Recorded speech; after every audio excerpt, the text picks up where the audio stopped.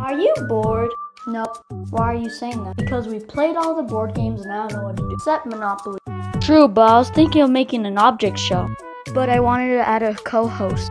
Wanna be my co-host? Fine, fine, I'll be your co-host. I beat you.